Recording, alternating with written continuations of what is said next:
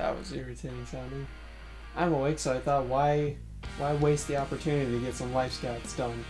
Seems like a good idea. So, I'm specifically wearing this shirt. This really old ass yellow shirt. I still kind of like. For this particular Life Scout story.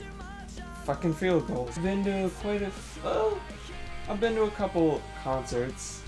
Uh, or shows or whatever. But my favorite one of all time, heh, around all time. Sorry. My favorite one, by far, despite it not being played by my favorite band, was at where was that? Uh, oh, I don't remember. I don't remember. Anyways, my favorite show of all time. Damn it. My favorite show ever was uh, All Time Low, The Maine, Every Avenue, and Mayday Parade.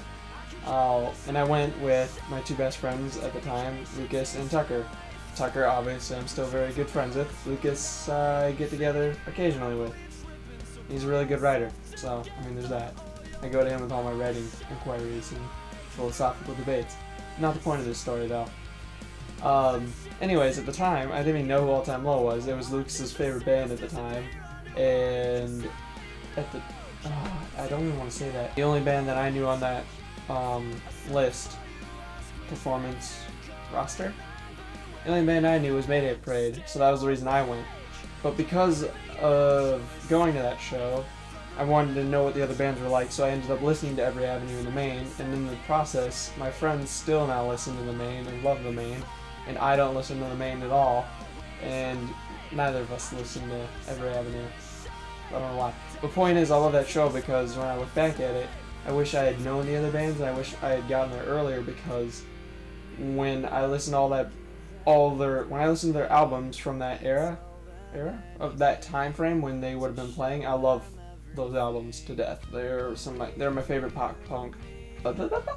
They're my favorite pop punk records ever made. So, yeah, I mean, there's that. It, there, there's nothing really special about the story. That's just my most memorable concert. Uh, was because I was with my two best friends, and yeah, it was just a really good pop punk lineup. Like I don't, I've never had, I've never seen a lineup as good as that for that time. Because now those bands aren't necessarily pop punk or anything like that anymore. But sniffles. So, yeah, there's that.